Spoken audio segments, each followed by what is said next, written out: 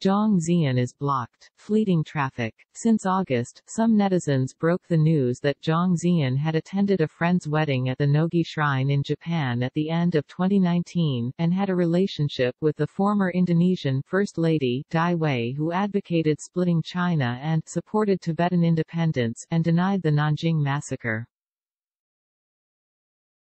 Have a group photo. Earlier, he had also clocked in the Yasukuni shrine many times. As soon as the news came out, it caused huge controversy in an instant. Subsequently, Zhang Zhehan lost more than 20 business endorsements within a week, social accounts on major platforms were blocked, Chaohua shut down, major music platforms removed all Zhang Zhehan's music works, and even related works were removed from the shelves. There are many things in this world that cannot tolerate jokes, confusion, and forget.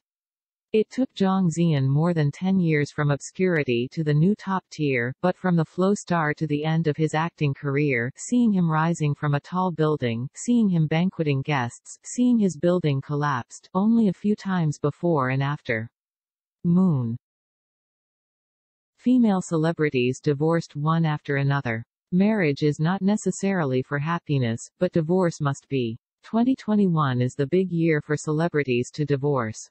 In April, Zhao Liying and Feng Shaofeng divorced. In May, Tong Liya and Chen Sicheng divorced. When the divorce of Da S and Wang Xiaofei in November, the hearts of the people who eat melons are no longer disturbed.